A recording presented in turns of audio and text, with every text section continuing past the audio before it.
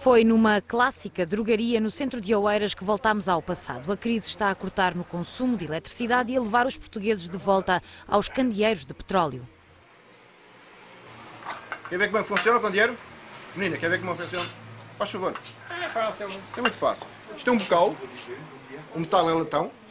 Este petróleo. Enchemos de petróleo. Tem uma torcida. Vai ensopar o petróleo.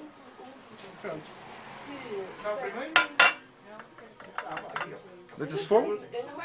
Baixa. Mete a chaminé.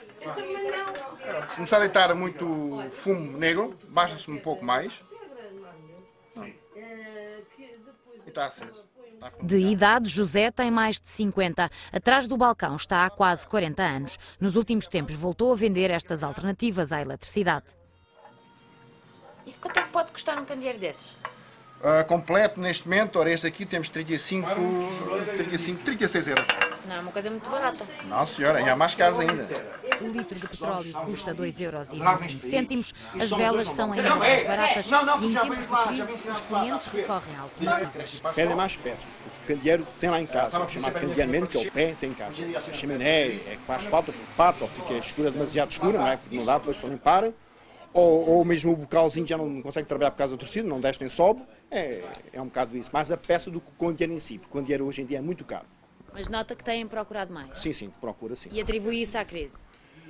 Posso dizer que sim, sim senhora, claro, estão-se numa casa, estão a trabalhar duas pessoas. Se de repente ficam desempregadas, o pai e a mãe conseguem dar a alimentação, mas pagar os supérfluos, né, nesse caso, que é a eletricidade, a água, a TV cabo, sei lá, são capazes de não poder pagar, não é? Nesse caso vão à luz da vela, claro.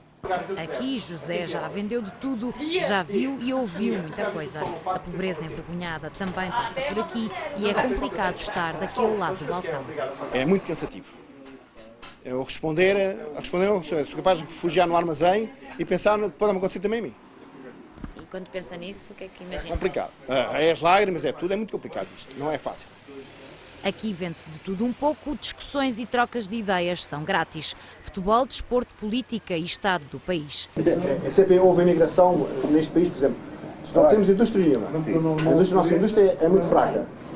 Pescas acabaram, a agricultura acabou. Só tem que ganhar dinheiro onde? Tem que ganhar ali para fora, como sempre houve. O Primeiro-Ministro disse para a malta emigrar, na minha opinião, quem quis emigrar é ele. Ele e os outros lá estão. Eles vão emigrar. Vão emigrar, mas Vão emigrar. vão emigrar da calceira cheia. Não, nativos vão emigrar. Vão emigrar para, sei lá, para o Parlamento Europeu.